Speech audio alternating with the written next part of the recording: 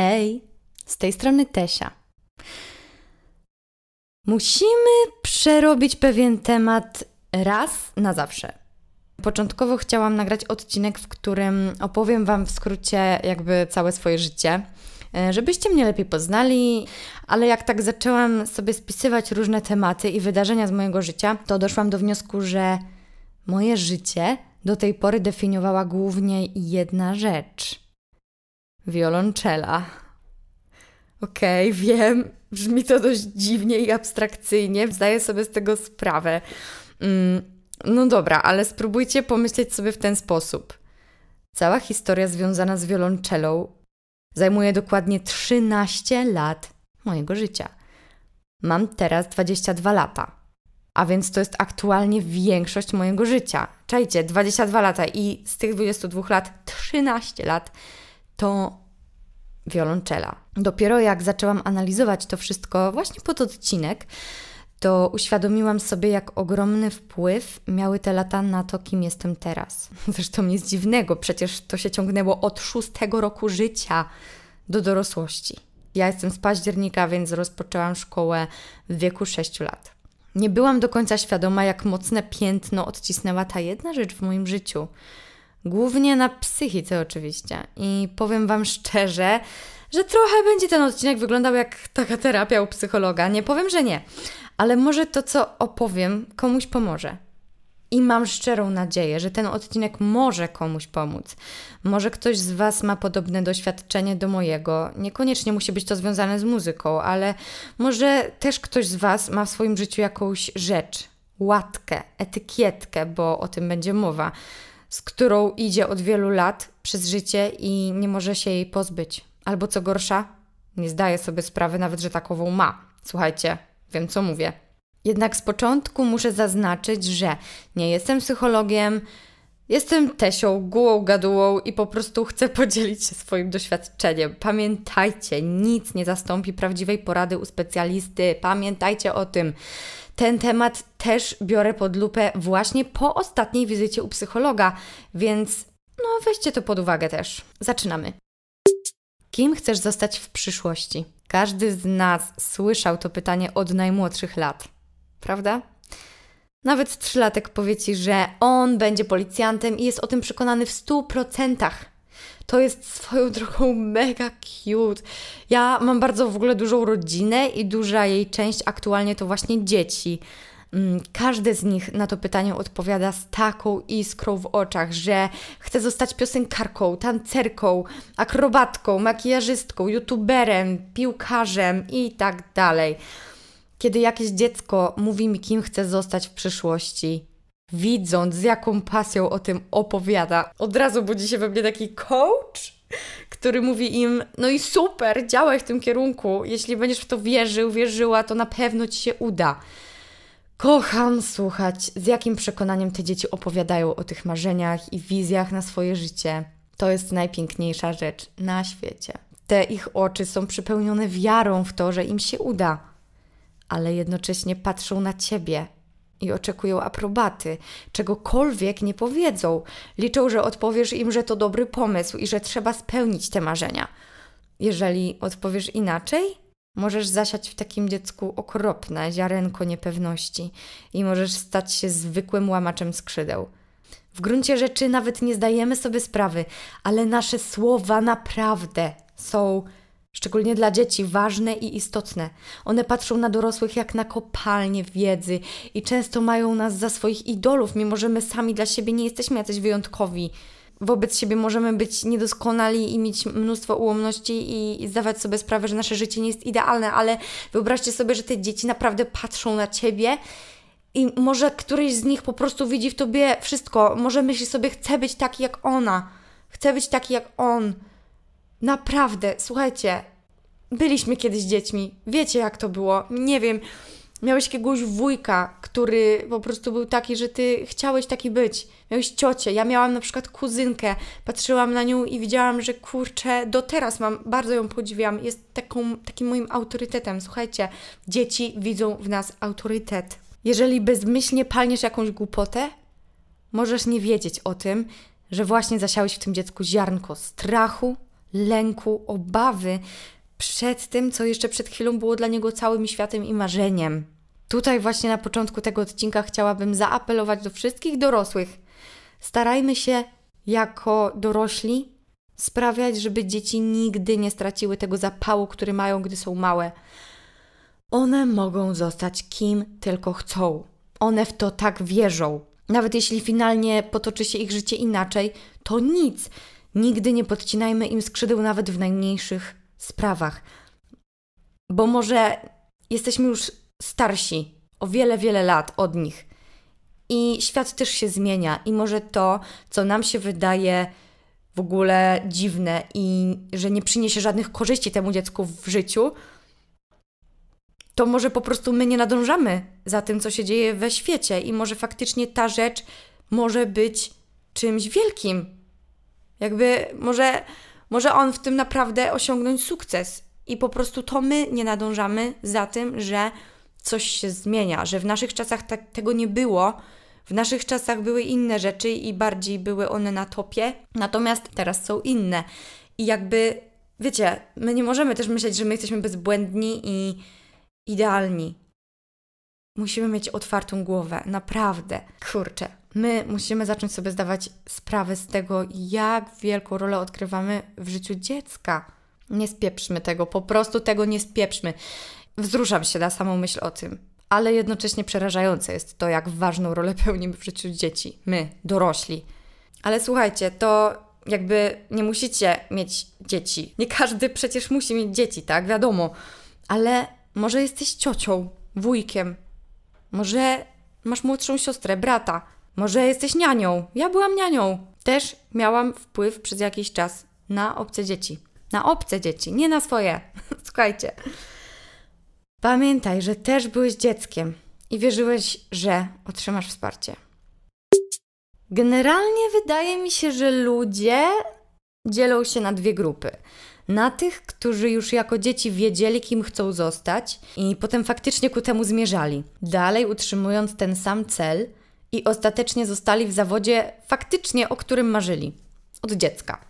Znam takich osób całkiem sporo i wydaje mi się, że łączy ich wiele podobnych cech tak jak ich obserwowałam, bo ja oczywiście nie byłam taką osobą, ale właśnie obserwując takie osoby dookoła siebie, miałam wrażenie, że te osoby są bardziej dojrzalsze niż pozostali.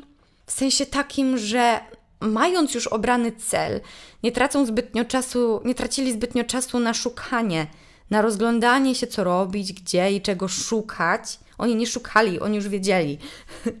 oni już wiedzieli, czego chcą i skupiali się na tym. I te osoby jakby wiedziały dokładnie też, co powinny robić, żeby ten cel osiągnąć. Wydaje mi się osobiście, że można powiedzieć, ym, że takie osoby mają nieco łatwiej.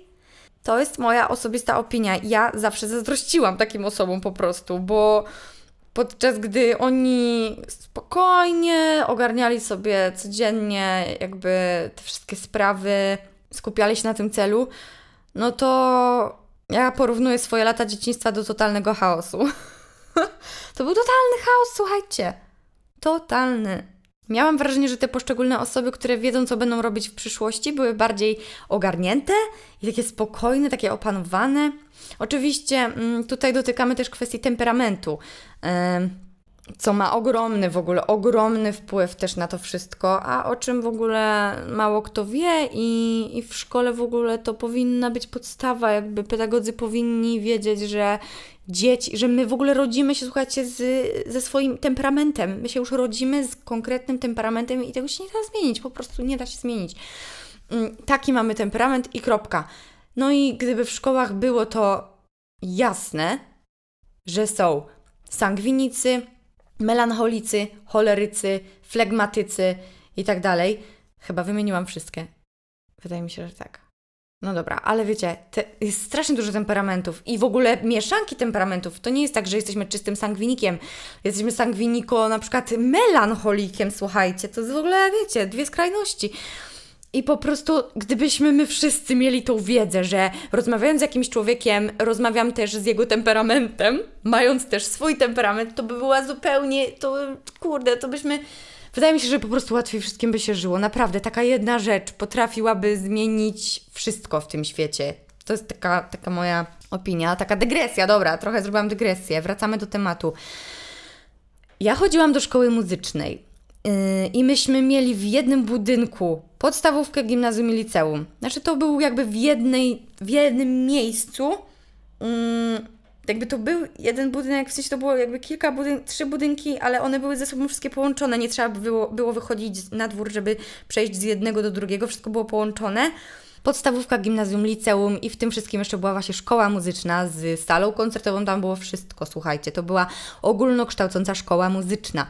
E, czyli w jednym budynku mieliśmy zwykłe przedmioty, matematyka, polski, historia i tak dalej, i muzyczne. Jakby w planie lekcji mieliśmy wpisane, wiecie, matma, polski, kształcenie słuchu, potem harmonia, potem znowu matma, wiecie, na tej zasadzie, nie? Wszystko mieliśmy razem, a popołudniami, po jakby planie lekcji takim podstawowym, że tak powiem, ale w tym podstawowym planie właśnie były te muzyczne już przedmioty, to popołudniami były indywidualne zajęcia albo na przykład orkiestra, chór. Mm, każdy miał przedmiot główny, wybrany instrument. Mm, I to były indywidualne zajęcia z nauczycielem. No i właśnie. Miałam koleżanki, które już od najmłodszych lat wiedziały, że faktycznie, dajmy na to, te skrzypce to ich przyszłość, że będą finalnie grać w jakiejś orkiestrze, albo uczyć, albo jakaś solowa kariera w ogóle, wiecie, były takie zdolne dzieci bardzo, mm, ale też ambitne, właśnie strasznie dużo ćwiczyły, chyba że po prostu też były przypadki, że to rodzice cisnęli te dzieci. No, to też jest szeroki temat, widzicie, słuchajcie.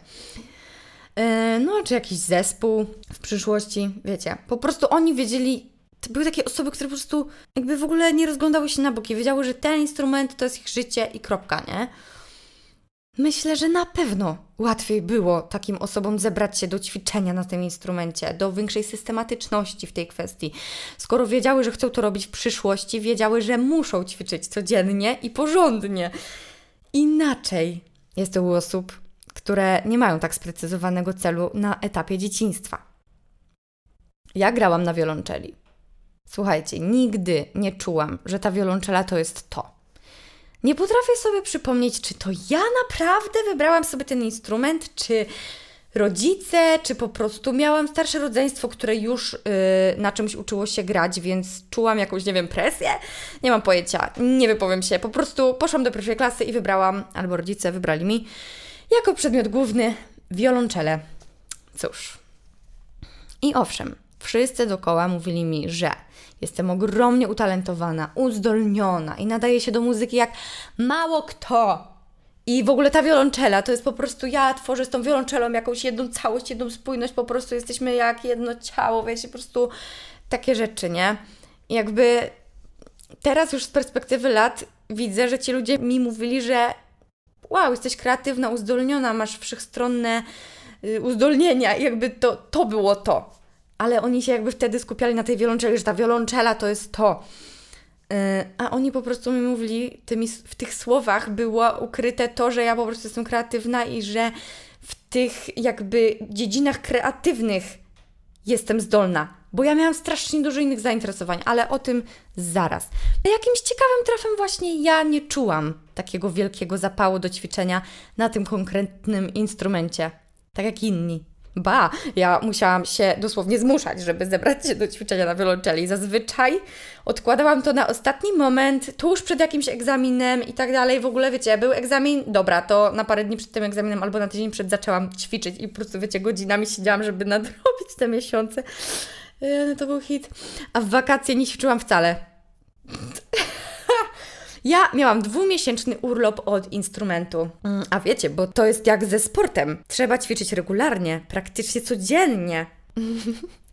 Nie, ja sobie przychodziłam we wrześniu, wychillowana po dwumiesięcznym detoksie od instrumentu i dostawałam za każdym razem porządną zrypę od moich nauczycielek, że nie przygotowałam materiału, który zadały mi na wakacje. Tak, bo słuchajcie, w ogóle dostawaliśmy zawsze w czerwcu utwory do rozczytania na wakacje, żeby we wrześniu już od, od czegoś zaczynać. No, a ja zawsze przychodziłam tak ledwo, ledwo przygotowana.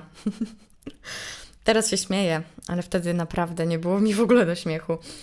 Ach, wiecie, co jest w tym wszystkim w ogóle najgorsze? Najgorsze było to, że moje nauczycielki od wiolonczeli kochały nadawać mi taką ksywkę. Zdolna, ale leń. Zdolna, ale leń. Jesteś zdolna, ale leń.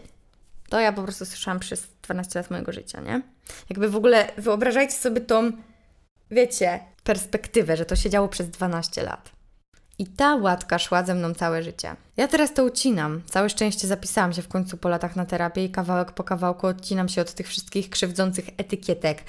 Ale powiem Wam tyle. Wyobraźcie sobie to wszystko z takiej perspektywy. Od pierwszej klasy podstawówki, czyli od szóstego roku życia w moim przypadku, przez kolejnych 12 lat, dwa razy w tygodniu, przeżywacie największą psychiczną traumę podczas indywidualnych lekcji instrumentu, gdy nauczyciel wyżywa się na Was psychicznie i czasami nawet fizycznie.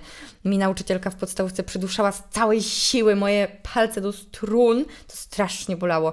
Pamiętam to, po prostu to było straszne. No a już nie mówiąc o psychi psychiczne, było najgorsze znęcanie się. Dwa razy w tygodniu. Czasami nawet miałam dodatkowe lekcje w weekendy też, to w ogóle jest hit. Przeżywacie ogrom stresu, często płaczecie ze strachu podczas tych zajęć albo macie jakby taki paraliż. Ja pamiętam, że mnie tak paraliżowało, bo ona mi zadawała jakieś pytania, albo jak mam zagrać. Ja po prostu nie wiedziałam i ona czekała. I ja czekałam, bo ja nie wiedziałam, co powiedzieć, i ona czekała. I wiecie, tak po prostu to, to co się unosiło w powietrzu. No, 45 minut dwa razy w tygodniu przez 12 lat. Mam teraz 22 lata, więc większość mojego życia spędziłam właśnie w takim błędnym kole. To jest po prostu przerażające. Najbardziej smutne jest według mnie to, że Doskonale wiem, że nie jestem jedyna.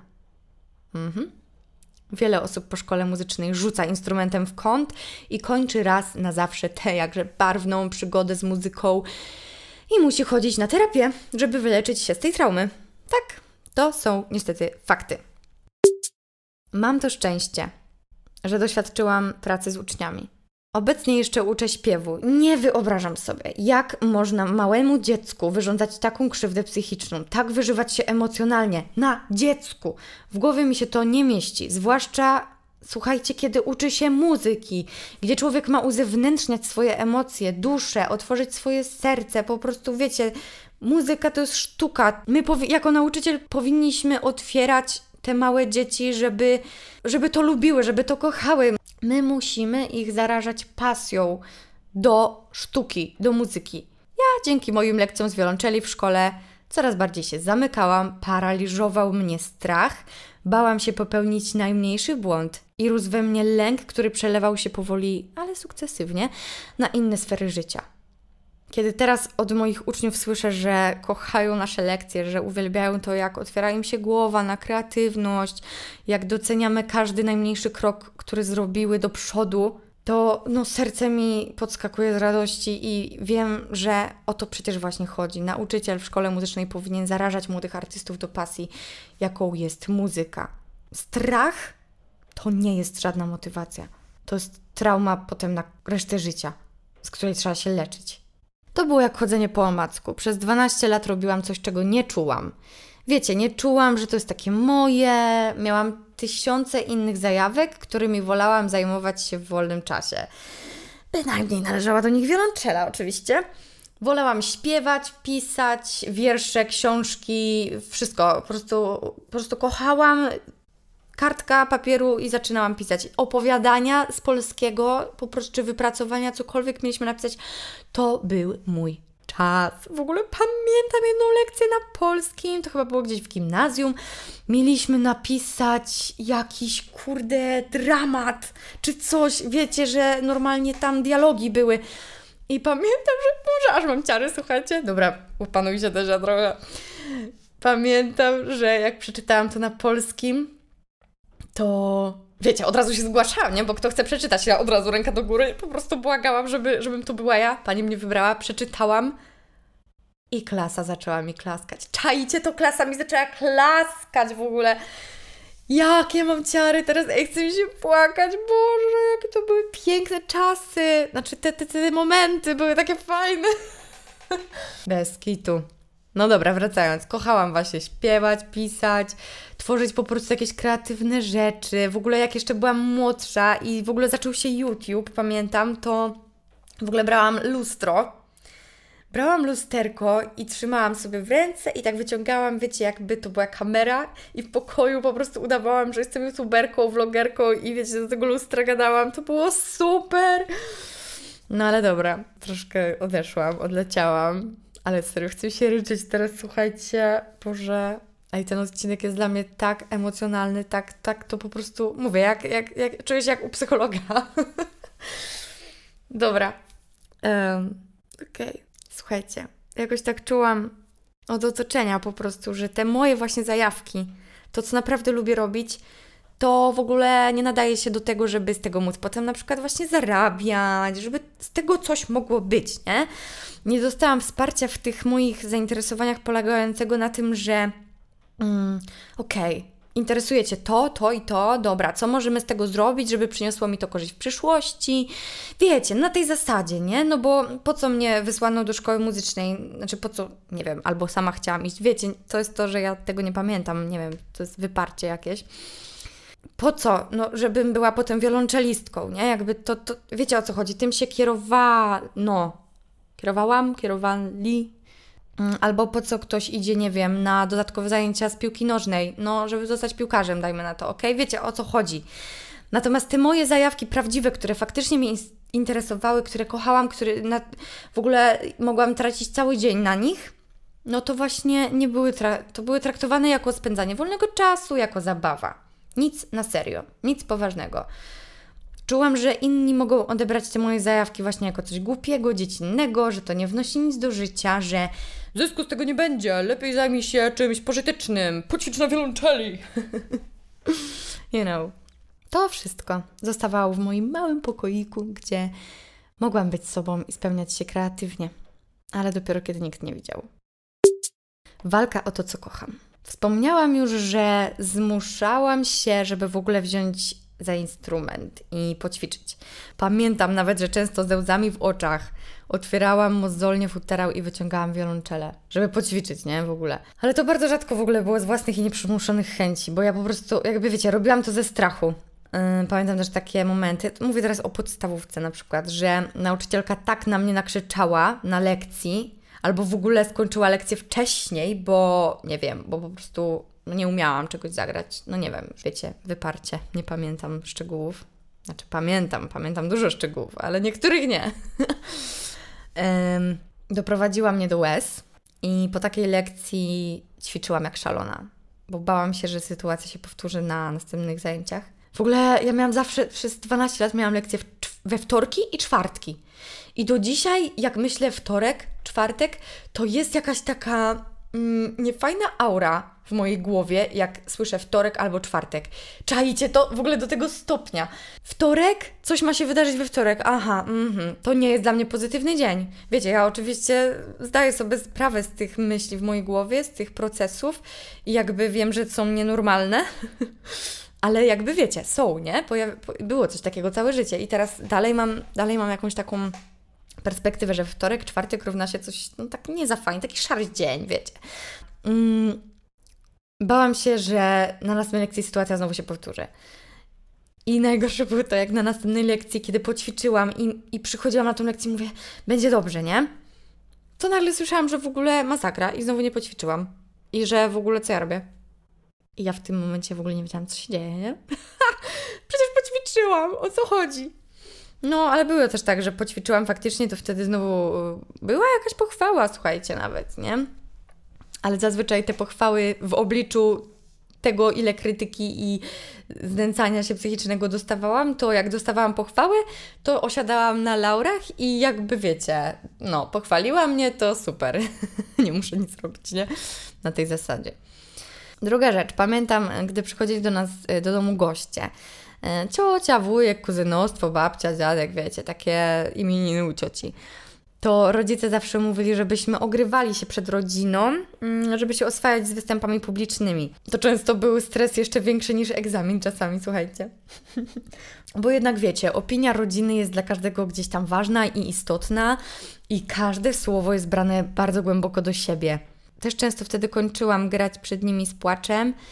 Mimo, że rodzina nie krytykowała mnie jak moje nauczycielki, to ja gdzieś sama w głowie słyszałam te, te słowa krytyki i jak grając, wiedziałam, że pomyliłam jeden dźwięk, to już po prostu w mojej głowie, wiecie, mm, powtarzałam w myślach słowa moich nauczycielek, bo jakiś dźwięk właśnie mi nie wyszedł, jak powinien yy, i tak dalej.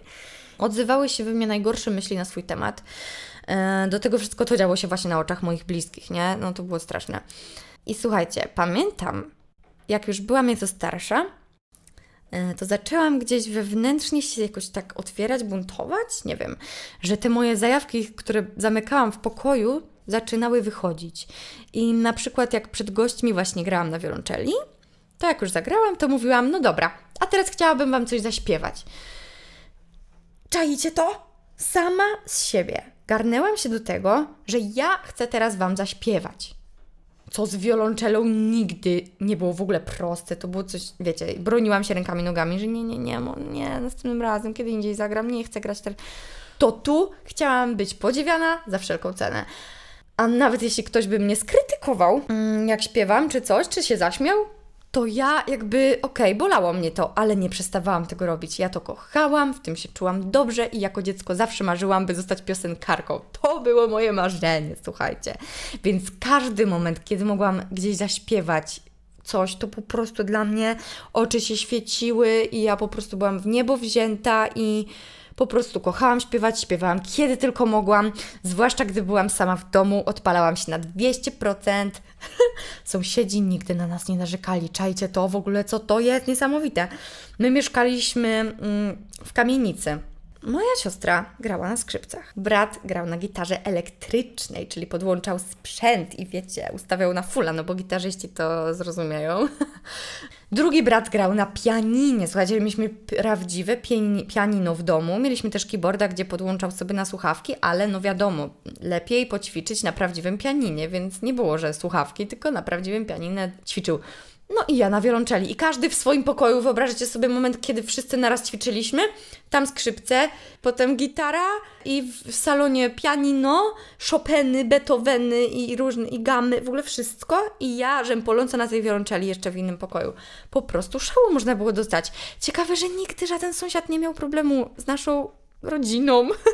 nigdy nie wezwał policji ani nic, nawet nie przyszli się skarżyć. Bez kitu, nigdy. To jest szok w ogóle. w ogóle pozdrawiam sąsiadów, jeśli słuchają. Wow.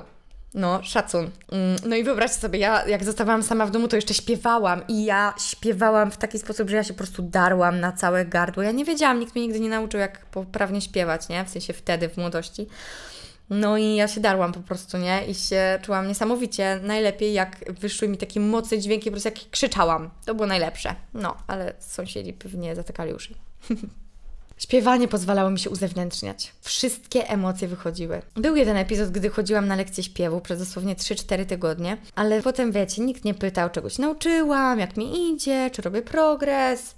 Więc to jakoś tak podupadło i przestałam chodzić na te lekcje, no bo, no bo co, nie? Jakby miałam świadomość też, że rodzice za to płacą i, i tak, nie wiem, nie wiem, wiecie, czułam, że po prostu może to faktycznie bez sensu. No, taka tam zajawka, wiecie. Ale Tereska przede wszystkim ma być przecież wiolonczelistką i ma, no okej, okay, ma dużo zainteresowań, ale jest wiolonczelistką. Czajcie, widzicie, nie?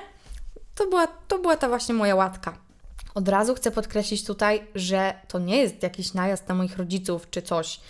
Wiem, że oni wspierali mnie najlepiej, jak tylko potrafili. I cały czas mnie wspierają, cały czas mam od nich wsparcie wiecie, moje życie już potoczyło się o wiele dalej i ja wzięłam w końcu sprawy w swoje ręce i tak dalej, wiecie, happy end, nie? Ale cały czas dostaję od nich wsparcie. Słuchajcie, oni mieli czwórkę dzieci. Jakby ja w ogóle kocham moich rodziców, są najlepsi na świecie. Całej naszej czwórce dawali niesamowite wsparcie i starali się za nami naprawdę nadążyć. To, co mówię, nie dotyczy tylko rodziny.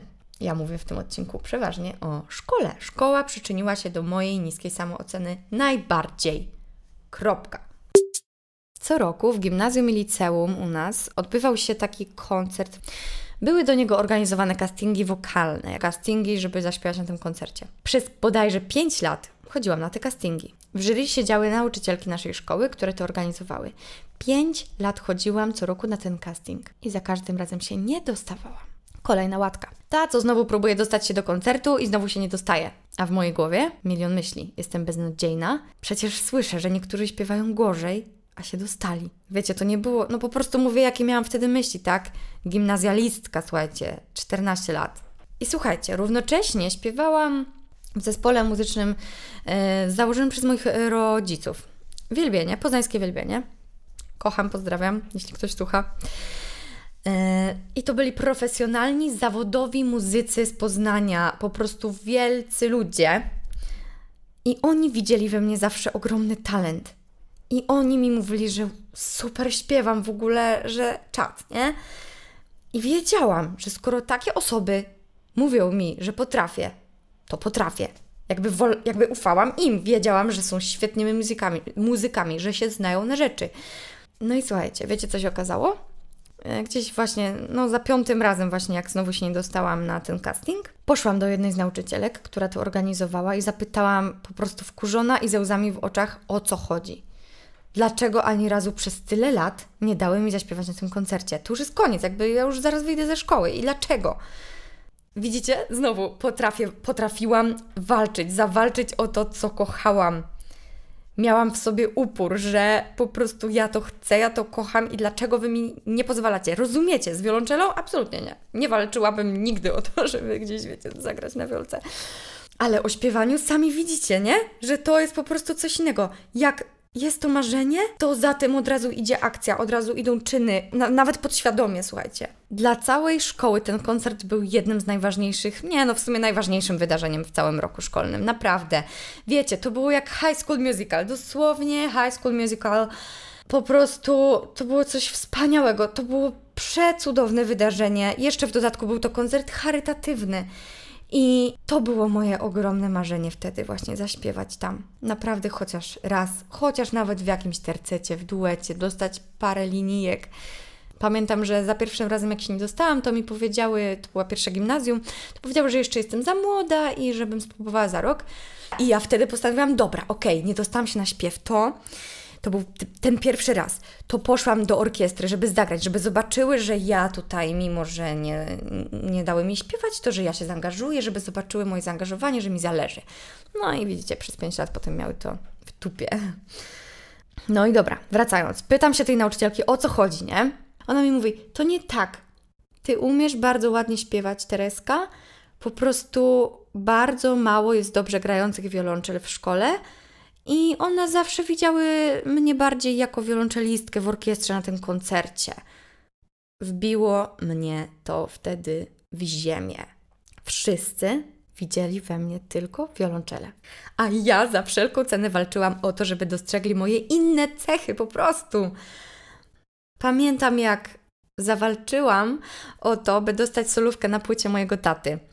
E, miałam wtedy 13-14 lat, słyszałam debaty za ścianą rodziców na temat e, tej jednej piosenki, którą napisała moja mama.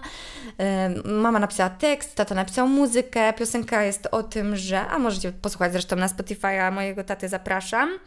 Poldek Twardowski i piosenka nazywa się Daj mi zamieszkać. I jakby ja słysząc te ich debaty, wiedziałam, że do tej piosenki idealnie pasuje. I ja pamiętam, jak przyszłam do rodziców i powiedziałam, że to powinnam być ja. Miałam solidne argumenty, byłam przygotowana, słuchajcie, wypunktowałam im, dlaczego powinni tak zrobić. No i zostawiłam ich z tym. Za jakiś czas pojechałam do studia i nagrałam całą piosenkę. Już teraz wiecie, zupełnie inaczej to brzmi, nie? No bo wtedy miałam 13-14 lat, tak słodko, po prostu słodkie jest to nagranie fest, naprawdę kocham tego słuchać, to jest takie cute. No i, i teraz wiadomo, już troszkę lepiej mi to idzie. Ale to było takie słodkie i naprawdę widzicie, za, znowu zawalczyłam o to, nie? Zawalczyłam. To było coś, o co potrafiłam sama z siebie zawalczyć. Czułam się w tym pewnie i dążyłam do tego, bo marzyłam, by śpiewać, by robić to, co kocham. Kolejnym momentem przełomowym były studia. Po zdanej maturze i zagranym dyplomie z wiolonczeli trzeba było wybrać jakieś studia, nie? Pamiętam, że działo się to wszystko bardzo szybko. Nie miałam w ogóle czasu, żeby pomyśleć, co ja w sumie w ogóle chcę studiować. Nope. Skończyłam 12 lat na wiolonczeli, no to idę zdawać do Akademii Muzycznej na wiolonczelę. no i poszłam. Zostałam nawet starostą mojego roku działu instrumentów strunowych. Słuchajcie, byłam starościną. Poznałam cudowne osoby. Mam wiele wspaniałych wspomnień z tamtego czasu. No ale co do wiolonczeli, coraz bardziej odchodziła w cień. Bardzo mało ćwiczyłam bardziej udawałam, że ćwiczę. Ja w ogóle zawsze robiłam tak, że jak szłam ćwiczyć na wiolce na przykład w szkole, wiecie, że nie w domu, tylko w szkole, czy później właśnie na uczelni w salce, to wolałam usiąść do pianina i sobie pośpiewać, aniżeli ćwiczyć na wiolce. W tym też z perspektywy czasu widzę to, że no hello, wszystko widać jak na dłoni. Równocześnie w tym roku też moja depresja się coraz bardziej rozwijała. Było mi bardzo ciężko. Tak jakby mój cały organizm czuł, że ja robię mu krzywdę, żyjąc nie swoim życiem. Tak jakbyście założyli buty o trzy rozmiary za małe i udawali, że e, wszystko jest w porządku. W końcu macie na sobie buty, tak? No tak, ale trzy rozmiary za małe. Początkiem drugiego semestru zaczęła się pandemia, zostaliśmy zamknięci w domach i mimo tego, jak okropny był to czas dla świata i dla mnie też psychicznie, osobiście i w ogóle, zawdzięczam pandemii to, że zamknięcie pokazało mi, że mając wybór, co zrobić z czasem, którego mam full, to ja nie wybieram wiolonczeli. W ogóle wtedy przestałam ćwiczyć. Naprawdę, to były znikome momenty, kiedy ja ćwiczyłam na tej wiolonczeli. Równocześnie moje stany lękowe się rozkręcały, psychicznie było naprawdę coraz gorzej. Nikomu nie mogłam się zwierzyć, też z tego wszystkiego czułam się z tym sama. Wspominam ten czas bardzo mrocznie i ciężko, ale ten czas pokazał mi, że ja potrafię oddać się czemuś z pasją. Właśnie, nie sięgałam po wiolonczele, ale zaczęłam pisać piosenki, tworzyć własną muzykę. W okresie pandemii napisałam najwięcej piosenek i uważam, że jest w nich coś naprawdę wyjątkowego, unikatowego, coś naprawdę. Chciałam rzucić studia już na początku drugiego semestru, ale jakoś dotrwałam do końca. Całe szczęście wszystko było online, ledwo udało mi się zdać ten rok. Oczywiście głównie chodziło tu o wiolonczele. Profesor powiedział mi, że przepuszczą mnie na tak zwane ładne oczy, że dają mi szansę, że w drugim roku będzie lepiej. Ja przytakiwałam, pamiętam i tak dalej, ale jak tylko oficjalnie zaliczyłam wszystkie przedmioty, to wiedziałam w środku, że ja tu już nie wrócę. I zaczęły się wakacje. Pracowałam jako opiekunka do dzieci, pisałam piosenki, czułam się wolna. Ale jeszcze nikomu, a zwłaszcza rodzicom, nie mówiłam wprost, że nie wrócę na studia. Ale oni się chyba domyślali, wiecie, że ja coś kombinuję. Miałam plan, że przez rok będę pracować i chodzić na lekcje śpiewu i przygotuję się do egzaminów wstępnych na następny rok. Słuchajcie, w sierpniu, pod koniec sierpnia, pamiętam, że w ogóle strasznie się zaczęłam zamykać na rodzinę, bo wiecie, miałam jakąś tajemnicę, ukrywałam coś przed całą rodziną. No i rodzice zauważyli, że coś się dzieje, nie? Mama raz do mnie przyszła do pokoju i się zapytała Tereska, co się dzieje, nie? Powiedz. I ja jej wtedy wszystko powiedziałam. Mamo, nie wracam na studia, to jest postanowione, definitywne, choćbyś nie wiem, co mi teraz powiedziała, nie wrócę, po prostu koniec. I przedstawiłam jej cały plan, jak ja to po prostu teraz wszystko widzę, nie? Wiecie, jaka była reakcja? Moja mama powiedziała mi, ja to rozumiem. Widzimy po prostu, jak się męczysz i jak cię, ile cię to kosztuje. I że będziemy cię wspierać we wszystkim, co chcesz zrobić. Ja pierniczę. No, to był jeden z piękniejszych momentów, jeśli chodzi o relacje z moją mamą. Naprawdę jeszcze bardziej potwierdzili to, że mnie wspierają i tak dalej. Wiecie, większość tych rzeczy naprawdę działa się w mojej głowie i dlatego wiecie, terapia, co też w ogóle mi zajęło wiele lat, ale no o tym kiedy indziej. Rozumiecie, po prostu wypowiedzenie tego przed kimś, przed moją mamą, to było niesamowite. I tak zakończyła się moja historia związana z wiolonczelą i ze wszystkim, co wokół niej. Oczywiście to, co wydarzyło się później, jest myślę o wiele bardziej pozytywne i zdecydowanie zasługuje na oddzielny odcinek. Ogólnie są też plusy tego, że byłam w szkole muzycznej, żeby nie było. Dlatego spodziewajcie się drugiej części, gdzie opowiem o tym, co dobrego dała mi szkoła muzyczna, a nawet słuchajcie, nie zgadniecie, wiolonczela. Bo wychodzę w życiu ogólnie z założenia, że we wszystkim, nawet w największym złu, możemy znaleźć coś dobrego i wyciągnąć mądre lekcje, które popchną nas do przodu. A więc słuchajcie, najgorsze mamy za sobą. Teraz może być już tylko lepiej, ok? Już postaram się mniej narzekać w tych podcastach. postaram się naprawdę. Chociaż ja lubię sobie narzekać. Lubię. Ogromnie cieszę się, że mogłam się tą historią z Wami podzielić, że wysyłam to w świat. Jeżeli kogoś oburzyłam tym, co tu mówiłam, to trudno. Masz prawo mieć inne zdanie. Ja tylko opowiedziałam najbardziej subiektywną historię z mojej strony i tyle.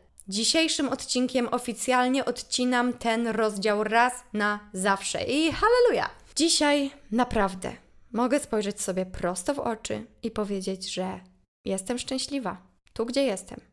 i robiąc to, co robię. Ale o tym następnym razem. Trzymajcie się, ściskam Was wszystkich bardzo mocno. Dziękuję za Wasze wsparcie, za to, że jesteście, że piszecie do mnie wiadomości. W ogóle jesteście najlepsi. Także słuchajcie, słyszymy się za tydzień. Postaram się, żeby było bardziej pozytywnie. I do usłyszenia! Pa!